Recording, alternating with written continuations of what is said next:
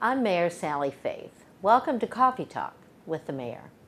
Today we have a special guest, and I'm uh, Nick Donzie. And Nick is the superintendent of parks for the city of St. Charles. And I've known Nick for a long time mm-hmm. when I was on the county council. And um, so it's uh, good to see you. Yeah, and I hope you. you're enjoying working with the city parks. Absolutely thoroughly enjoy it. Good. It's, now, how long have you been with them now? So I've just been with City Parks yeah. now for three and a half years. Three and a half years. That's right. what I was thinking. Exactly. Okay. Now, I was with the county parks uh-huh. for almost 10 years when you were on the council yeah. there. Yeah, yeah, yeah, absolutely. Yeah. That's right. Mm-hmm. But uh, that's super. Well, we're glad to have you here. And the purpose is just to talk about things and and uh, try and get information out. Um, and um, so we have our teacups and, and uh, and we can uh, sip from them. But uh, let's start. Why don't we start out by talking about the pools? Sure, absolutely. Okay. Well, it's, it's that time of year. It's almost pool season. It is, isn't it? Memorial weekend, we will uh-huh. have all three of our pools open again. Wow. So we're very busy uh, with those. Of course, Wapelhorst off, Mu- mm-hmm. uh, off Muegge and yeah. in Blanchette Park and mm-hmm. in McNair Park as well. Sure. So uh, we're getting geared up for for uh, another fun-filled season of, of swimming at our facilities. So. Good. Good. Yeah, That's great. Yeah, yeah, I understand there was a study that was done. So t- tell that us a little correct. bit about that. Yeah, we did. You know, um, St. Charles uh, has a, a, pretty strong legacy revolving around their aquatics facilities. Absolutely. Um, when they were first installed back in the 90s, they were cutting edge at the mm-hmm. time, uh, really setting the trend, and actually got some national awards for what we were doing. So it's really a part of our community um, what we do with our aquatics, uh, our, our programs and our facilities. Uh, but they're getting to the point now to where they're starting to show a little age. Like all of us. Like all of us, okay. exactly. Um, so the park board decided to get a consultant in to uh-huh. take a look at their condition, um, not only just the physical attributes of the facilities, but mm-hmm. actually mm-hmm. how they are operated to see if there could be any efficiencies done. And, and and we, the citizens, do not see the inner workings. Absolutely. It's, and absolutely. it's a whole different world. Looks good on top, looks good, it's happening, I'm swimming, there's water in it, but there's some other things underneath. Certainly there is, and, and you're right that you don't see. Uh, a lot of it's underwater or mm-hmm. underground okay. with, with the pipes and the filters. Uh, the aquatic staff and our maintenance staff, they do a wonderful job mm-hmm. in getting them ready. Um, every year gets to be just a little bit more of a challenge because they're, they're, getting older. There's a always a little bit more to do, a little bit more repair. Mm-hmm. So we looked at those, and, and they're they're coming um, up with um, finalizing the study here mm-hmm. shortly. Oh, okay. They did a lot of work. Um, they did um, on-site analysis when the pools were running. Um, they actually Good. did surveys last summer with the people in the pools to see how Good. they felt about them.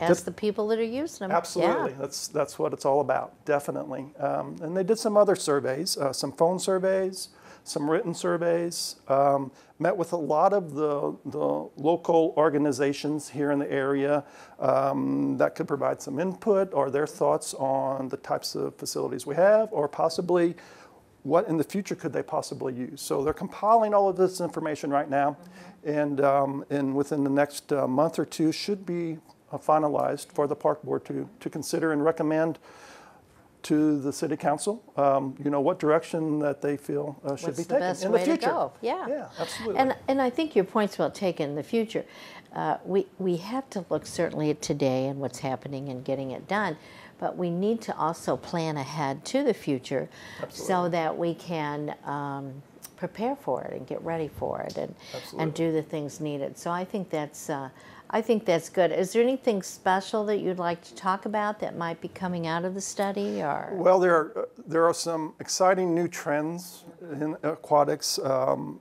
you know, Wapelhorst, of course, has has the, the tall slides there, and a lot of the other attractions there. On top of that, there are new innovations out there, new slides that the consultants are looking at to help supplement what works and improve upon it. Uh, and of course, efficiencies as well. You know, there's a lot more efficient uh, ways to operate the pumps, more efficient ways to even staff the facilities now, the way it's designed. Wow. Um, you know, and also indoor component is also being looked at as well, mm-hmm. because currently um, in the city we do not have an indoor facility. Yeah. So that was all part of the discussion and part of the evaluation on what's what's going to be proposed. Well, I think that's exciting, and I'll be looking ahead to uh, to seeing what the what the final results were, and and I, I think a good job was done with bringing all these pieces in to put that study together. Absolutely, we tried to get as much input from the community as possible in, in various different ways. Good. Mm-hmm. Yeah. That's important. Now, talk to me. What's happening with the ball fields? Well, a lot with the ball fields. Um, absolutely. Uh, even starting a few years ago, we, we started, it's not real exciting stuff, but we're starting to see sort of the benefits of our, our turf management program. So, uh, a new way of looking at how to fertilize, how to manage, how to aerify the turf. And it's, it's really starting to pay off this year. Even how we mow it, we're even looking at different ways of That's doing that, you know, uh, smaller. And when you say different ways of mowing, is Yeah. Mm-hmm. it the tall grass or short grass, or is it different directions? Or It is. It's- Isn't it's that both amazing? of that, including the type of equipment we use. So, uh, it- for example, our ball fields are typically mowed at the same height every time, but now we're mowing in different directions. So you're actually even starting to see some of that cool striping that you see, Yes, like when you I watch like TV or- or at Busch Stadium. Uh-huh. We're starting to do that. good. At the soccer fields, uh, we do vary the heights on those depending what time of year and, Mm-hmm. and who is playing down there. So we actually will, depending, we'll even lower the grass a little bit or let it grow a little bit higher. So it's, it's a comprehensive approach now that we're trying to, as much as possible, Hmm. improve the playability and, and, the, and the turf stand on the field. So we've been doing that now for a couple of years. Well, I think that's great. And first of all, it looks good, and just because it looks good doesn't mean that um, there aren't some things to uh, can help it, as you said. And certainly, turf grass is evolving, is an evolving business. Uh, you know, I've worked at a golf course, and and we were talking about the drainage and the type of, of uh, uh, dirt underneath it. Because you know, on a golf course, it never rains. Of on course a not. golf Oh, no. course. That's right. it may lightning, but it never rains. And uh, so, uh, but that is certainly that. And, and tapping onto what we, I was just saying is that um, you got to take training for all that. Absolutely, it is. Yes, it's, it's so- actually a science yes, behind it all. It is. it really is. And and everything, uh, looking at the parks and things that need to be done. So talk to us about uh, some of the things, trainings that you go to. Oh, certainly. Well, through our Missouri Park and Recreation Association, every year they provide um, uh, classes uh, so you can maintain your certifications Good. um, as a park professional. Now, we also have training for pool operating um, uh, classes for maintenance and, and, and for the aquatic staff, That's which we send all the mechanical stuff underneath there and all and that. all the chemicals and keeping everything chemicals, keeping everything right. balanced so the water looks as good as it possibly can. Good, Yeah. good. Uh, we also have certified playground inspectors I'll be darned. to where we, we send them to it's a very extensive class where they, they go it's a two and a half day class Mm-hmm. and at the end there's actually a written test which they have to take to become a certified playground Wow, inspector that's great. so we have a program where we inspect all our programs or all of our playgrounds as well and we have uh, right now on staff five certified playground safety inspectors That's good. And and looking at the training and everything, you know, sometimes you you send someone to train the you train the trainer and then the trainer comes back and No, and does does that internal uh, teaching and uh, but but it is important to know that and to keep up. Uh, absolutely Yeah. it is Yeah, it's uh, when I worked at the golf course, my mother couldn't thought I was off all winter because it snowed, and, and that was not true. and you know it's not the case absolutely absolutely because you're getting ready for the for the next go around. that's right Uh, uh, tell talk about any anything else that I, oh I know. Let's talk about when we were talking about the uh, different parks, the uh, improvement. What about um, oh concession stands Oh, and stuff? What's going on with that? So at Wapelhorst Park, you know, we're doing all this work on the ball fields with the turf and the infields. Um, in addition to that, we have a new addition to the concession stand there to where people can come in if it's hot outside in the air conditioning, maybe watch a Cardinal game if it's on. We have some nice TVs there, get a nice beverage if they're thirsty.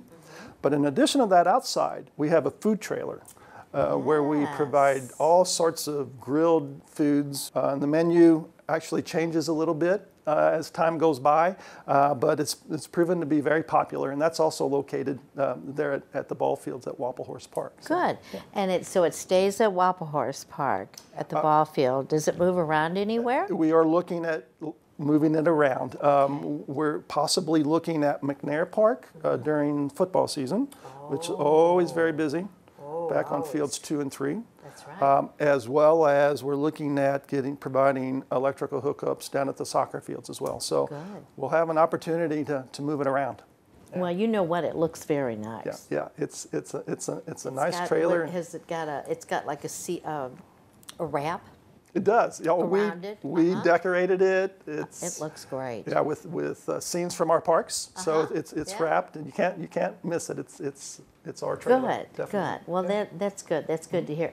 Anything else that I haven't covered that you think we should talk about? I guess right now we're thinking, as you said, of summer. Yes. We're looking ahead to the future. Uh, as far as the pool and everything, uh, certainly all the diamonds, baseball and softball diamonds are going, and and then probably in the fall we'll do another update, and uh, and just sit down and talk about things that, that are going on. Sure. And uh, I think uh, I think that's great. The, we have the city of St. Charles have wonderful parks. We're very proud of our parks. That's right. And how many parks do we have? We have 24 parks right. altogether, nearly 800 acres. Isn't that something? hmm Mm-hmm. That's great. Um, and and people, I bet you there's parks in in town that people don't know are there. There are actually. There uh, in Frenchtown, we have some smaller parks. Actually, as you drive right along Second Street, there's Mm-hmm. a nice narrow edge of landscaping, which is a park, and then just further down Is the uh, Eco? is the Eco Park, uh, just right here on Main Street. Um, Kister Park with the gazebo. Yes, and and also um, uh, Berthold Park by Lewis and Lewis and Clark, Yes. and then Webster Park Yes, it's already down by the family That's arena. correct. Right, right. And that's very nice. And it's something that people can rent to have at Webster Park. Yes. Has a large building where you could have it all year round. Yeah, absolutely. It's an indoor facility that you can rent. There's indoor and outdoor seating. It's, um, you feel secluded up there just in the sitting. It's, it's And you're right in setting. the It's middle, nice. right in the middle of town, and it It does. You feel like you're in the yeah, woods. Yeah, you do. And we have a fire pit there that, Uh-huh. you, that you Huge can use. So it's fire very, very pit. nice. Nice It's good for those um, s'mores. Yeah, absolutely. Yeah, Yeah. that works out good. You can sit there and stick them in the fire. Well, Nick, I appreciate you taking the time to talk to us. My pleasure. And um, uh, uh, let's talk about if someone has questions uh, about what you've mentioned or anything else with the parks, who should they contact or what number? Absolutely. Our main office uh, is at 636 949 3372. 3372. Absolutely. And we'd be able to help you uh, in any way we can. Well, I think that's wonderful. Uh, it's and I, I like the fact that the parks are evolving, and uh, I, I saw something in the, I think the weekly email e-newsletter talking about, or maybe it was something else, talking about the uh, cricket. Yeah. Yeah, Absolutely. there's a big cricket. I think I got a letter of invitation for a quick cricket. It's a na- it's a convention that's happening. It's really taking foot here. Um, Mm-hmm. We have um, cricket matches. I'm, I'll have to apologize. I'm not real familiar with cricket uh, I'm not in terms either. of I've like baseball it. or football, but uh, Boy, it's they work really hard. Popular. Yeah. uh, and it's in it's in Bales Park in DuSable, Yes. Just just north of 370 there. You go under, and uh, every weekend uh, it's very popular, and it's it's really really starting to take foot there. Well, and I think it's pretty cool because um, there are people, I've talked to people that are there. Some of them come from Kansas City, Columbia, St. Louis.